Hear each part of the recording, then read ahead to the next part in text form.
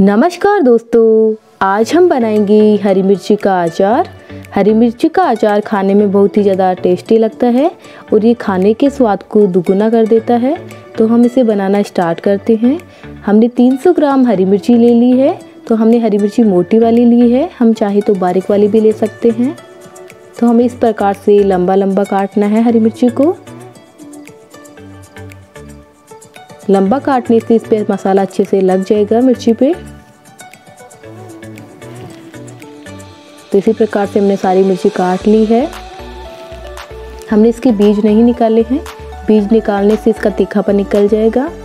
तो हमने बीज नहीं निकाले हैं इसके। अब एक बाउल लेंगे। उसमें हमने तीन चम्मच दाना मेथी डाल ली है। दो चम्मच हम सौंफ डालेंगे।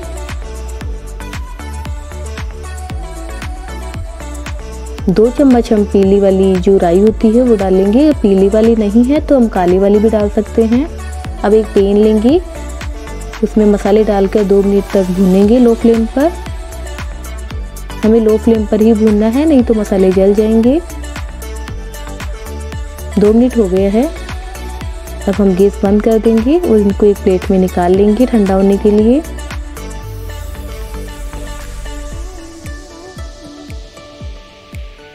अब हमने एक पेन लिया है, उसमें तेल डाल दिया है। तेल को हमें अच्छे से गर्म करना है, जब तक धुआँ नहीं निकले, जब तक हमें अच्छे से गर्म करना है। अगर इसमें धुआँ निकलने लग जाए, तब हम इसे बंद कर देना है।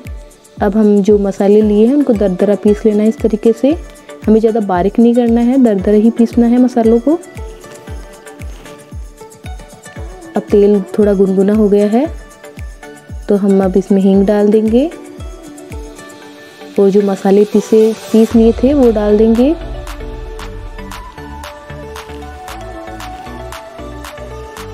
अब हम आधा चम्मच लाल मिर्ची पाउडर डालेंगे। लाल मिर्ची पाउडर हम तीखा खाना चाहे तो ज़्यादा भी डाल सकते हैं, पर हरी मिर्ची तीखी थी तो हम कम ही डालेंगे।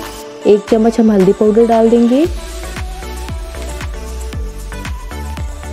अब हम हरी मिर्ची डाल देंगे इसमें सारी। अब हम इनको अच्छे से मिक्स कर लेंगे।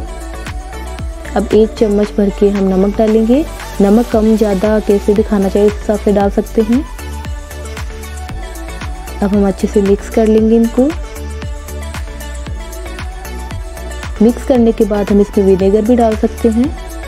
तो विनेगर नहीं है तो हम नींबू डाल सकते हैं। तो हम एक नींबू डाल देंगे इसमें। नींबू डालने से अचार ख़राब नहीं होगा। और हम छः महीने तक आराम से अचार को खा सकते हैं। अब हम एक बन्नी में भर के रख लेंगे। ये दो दिन बाद में तैयार हो जाएगा अचार तो दो दिन बाद में खा सकते